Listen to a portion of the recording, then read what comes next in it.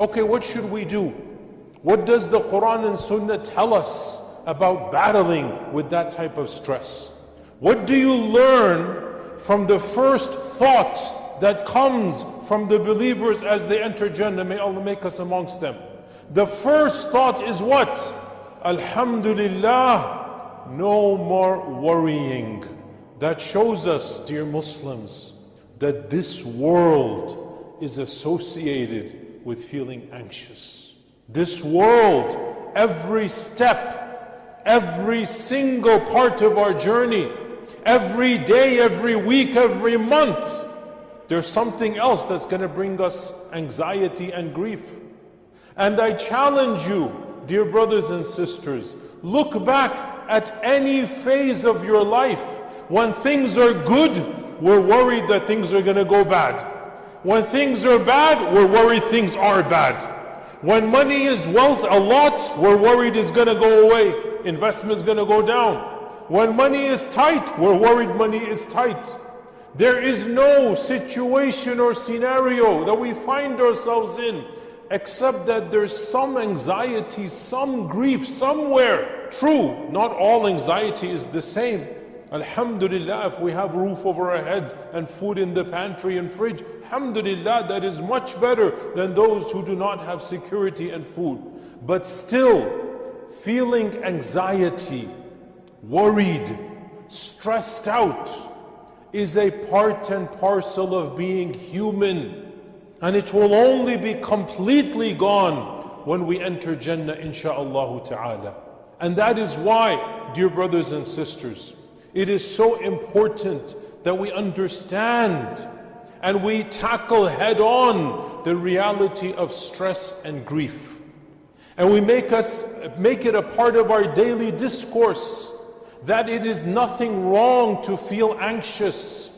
You don't have to feel guilty for feeling stressed out, especially in this time of pandemic. I mean, how can we not be anxious worried, stressed out. People are dying. Everyone amongst us has had family or friends that have passed away. On top of this, we have limited socialization. Some of the things that would relieve our stress was to be with friends and family. That too has been taken away.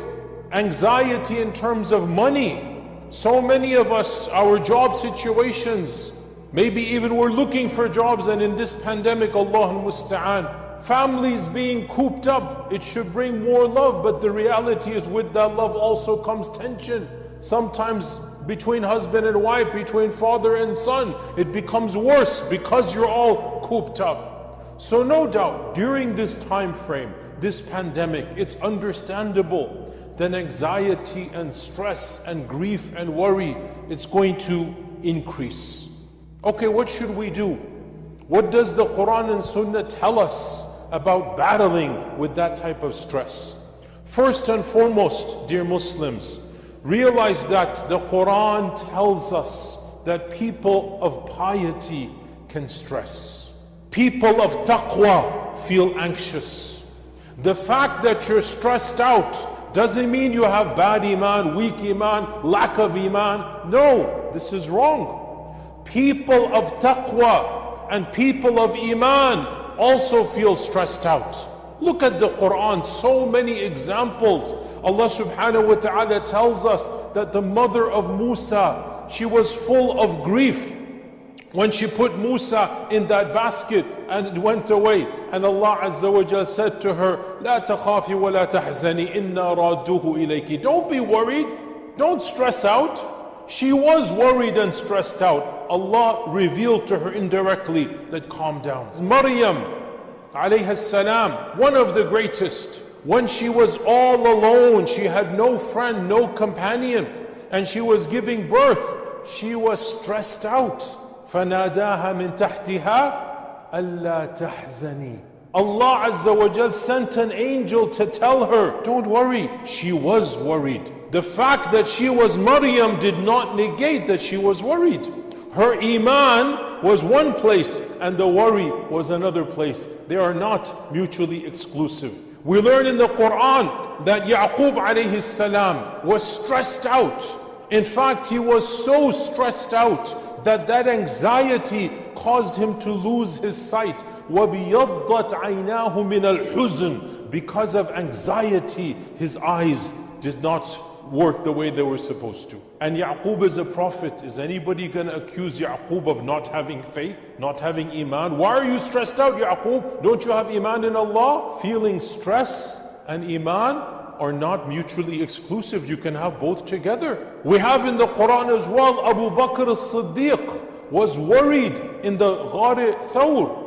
And the Prophet ﷺ calmed him down. The Prophet ﷺ himself said, that don't worry.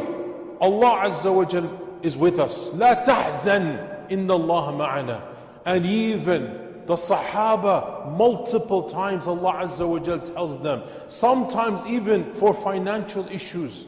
You know, the stock market crashes, many of us might feel anxious. We lose our 401k, something happens, we're gonna feel stressed. We get out of a job, there's gonna be anxiety. Let not that stress become itself a source of stress. You get my point here.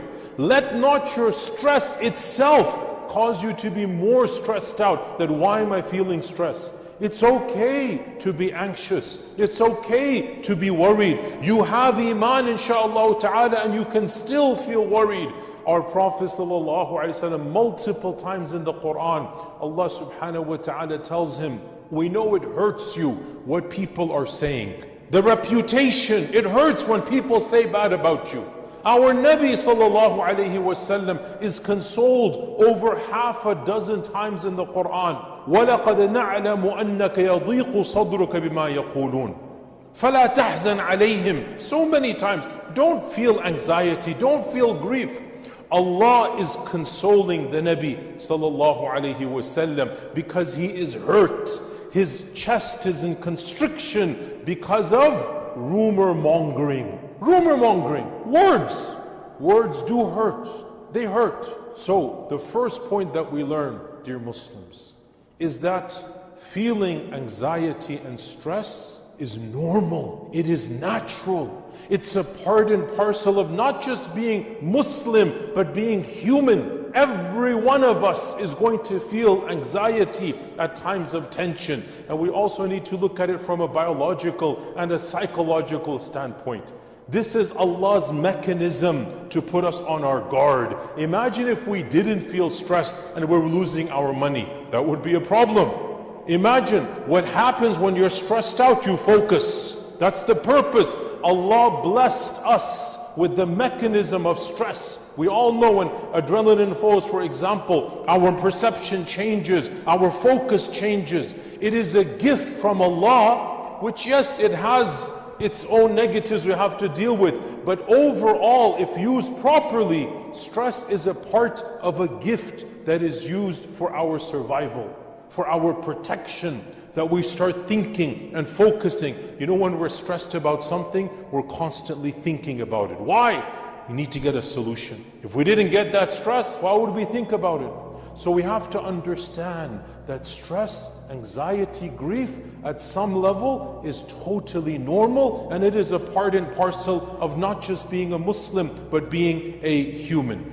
The second point that this leads me to is that as a Muslim, Alhamdulillah, we have tools to minimize stress. We have tools to help us overcome stress. One main tool in the Quran to battle against stress is our belief in qadr, in predestination. We believe that everything happens by the will of Allah and the decree of Allah. And in that, we should feel a sense of calm, a sense of protection. The believer uses qadr to feel a consolation for anything that has happened in the past. Qadr is used to console the past. Something happened, somebody passed away, I lost my job, the stock market crashed. Anything in the past tense, you say قدر الله وما شاء فعل. We don't use qadr for the future, that's something else. Qadr is used to console the past.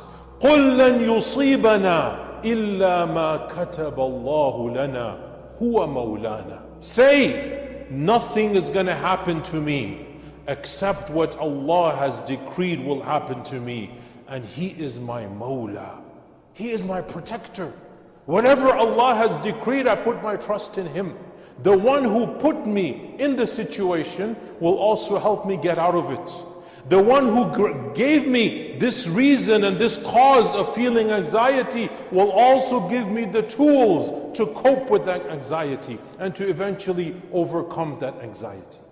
We firmly believe that anxiety and stress is a means of attaining Allah's reward if we channel it to connect with Allah. Any pain and stress that we feel, our Prophet ﷺ said, No Muslim is afflicted with any grief or stress or pain or anxiety or suffering. Six adjectives he gave, six different things to describe every possible state. No pain, no anguish, no grief, no worry, no physical pain, not even a shoka, a thorn that pricks him. And he is patient, except that Allah will give him the ajr for that stress and grief.